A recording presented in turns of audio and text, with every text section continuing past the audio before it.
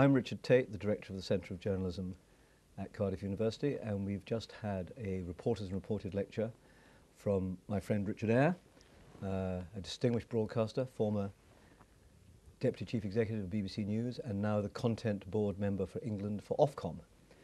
Uh, Richard, you've had a great career in broadcasting. What advice do you have for someone who wants to be a journalist today?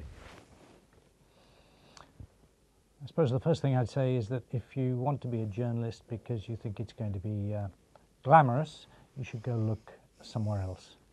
Uh, if you uh, if you want to be a star, you should go look somewhere else.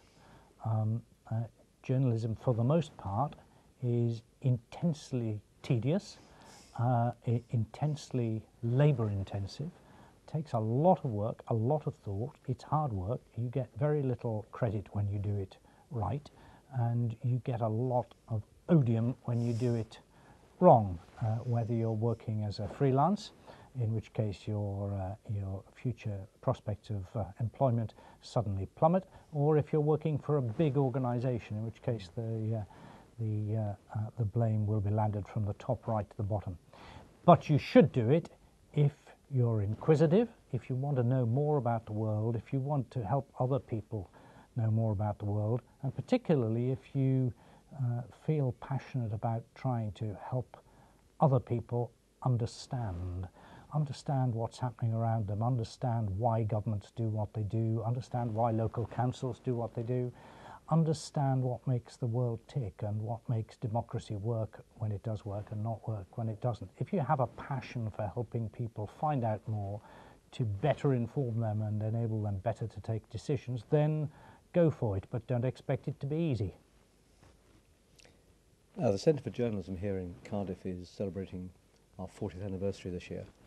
Um, do you think journalism has finally established itself as a serious university subject? It's amazing because I, um, uh, when I went to university in 1968, um, uh, the idea of media studies was just catching mm. on, and through the late 60s and through the 70s and 80s, and even to some extent today, media studies has a pretty um, bad reputation, except with people who do media studies.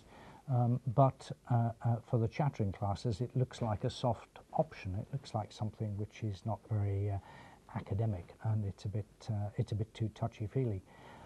But there's a first of all, there are good media studies courses and bad media studies course courses, but this is a school of journalism. It isn't a general media studies um, uh, uh, proposition.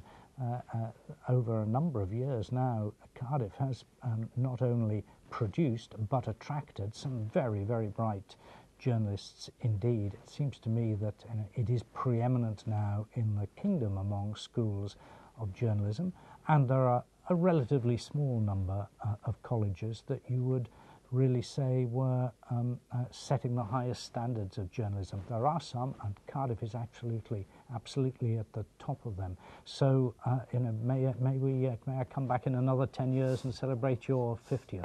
Of course, you're very welcome. And, and finally, when you look back on your career, anything you'd have changed, anything you'd like to have done differently? Almost everything, really. I, I, um, I, I started on the same day and in the same room as my colleague Jeremy Paxman and um, uh, together we uh, learned um, the basic arts of broadcasting, including interviewing. He's a bit slow to catch on on that, but uh, we went to Northern Ireland together, became reporters uh, together, and uh, I, uh, after three years, I decided to take the Queen's shilling and get into a desk job. And I sort of think, hmm, I wonder, I just wonder but I know in my heart of heart I wouldn't be where he is today. Uh, what would I have done differently in my 30 years at the BBC? I think the truth is I'd have left it a bit sooner than I did because I had a fantastic time at the BBC, but I uh, slightly regret that by the time I left I was starting to get too old to start an entirely new um, uh, career.